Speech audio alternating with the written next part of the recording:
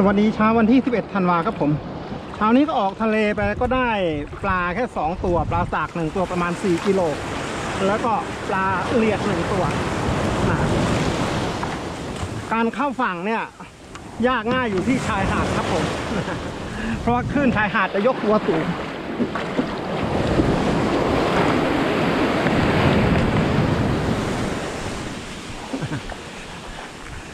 ชายหาดน้ำตื้นคลื่นจะยกตัวสูงครับผมนะฮะเทน้ำออกแล้วก็เอาเรือขึ้นไปเก็บข้างบน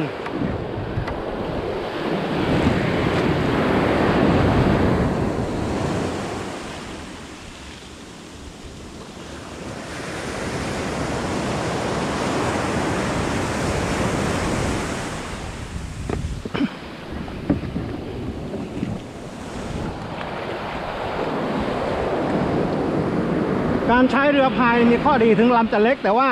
เรือพายเนี่ยมีผนังสองชั้นนะชั้นนอกชั้นในตรงกลางเป็นโฟม เพราะนั้นจะฟ้ามจะหายจะพลิกเนี่ยมันก็ยังลอยน้ำได้ แล้วก็น้ำหนักไม่เยอะ สามารถเคลื่อนย้ายได้นะครับผม ผมจะเอามาตั้งไว้บนชายฝั่ง ตอนเที่ยงหรือว่าตอนเย็น ก็จะมาดูอีกครั้งหนึ่ง ถ้ามีเวลาตอนเที่ยงนะไม่มีเวลาผมก็ดูเย็น แต่ว่าปลาทะเลเนี่ย มันจะมีความสดอยู่แค่ 6 ชั่วโมง ถ้าเกิน 6 ชั่วโมงแล้วเนี่ย มันจะไม่สดแล้วมันจะพองนะฮะเพราะฉะนั้นดักปลาทะเลเนี่ย ต้องพยายามกู้ภายใน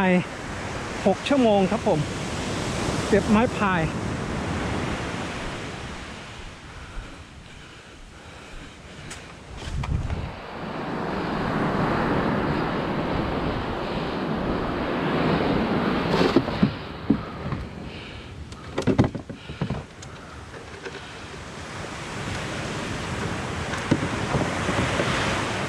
ก็ได้ปลาสากแล้วปลาบาราคูด้าหนึ่งตัวปลาเหลียดหนึ่งตัวนะสองตัวรวมกันประมาณสักห้ากิโล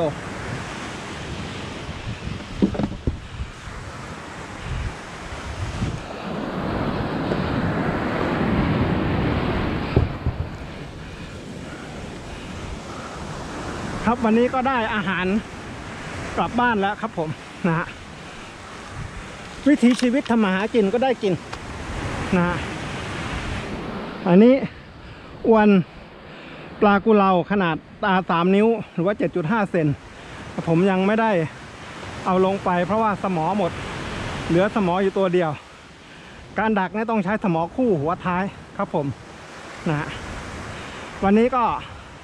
แค่นี้นะครับ สวัสดีครับกับชายฝั่งทะเลบ้านโคกตะเคียนตำบลสะแก้ว อำเภอท่าสลาจังหวัดนครศรีธรรมราช หรืออีกชื่อหนึ่งเขาเรียกว่าอ่าวทองคำเพราะเป็นอ่าวที่อุดมสมบูรณ์นะฮะมีแม่น้ำไหลลงหลายสายแล้วก็มีธาตุอาหารเยอะทำให้ปลามีอยู่เยอะนะครับผมชายฝั่งก็ไม่สะอาดสะอ้านเท่าไหร่เพราะว่าหลังมรสุมเนี่ยพวกโฟมขึ้นมาเยอะ แต่ว่าเงียบสงบนะครับนะท่านผู้ชอบชายทะเลที่เงียบสงบก็เรียนเชิญ ชายทะเลบ้านโคกตะเคียนตำบลสะแก้วอำเภอท่าสลาจังหวัดนครศรีธรรมราชครับผม สวัสดีครับ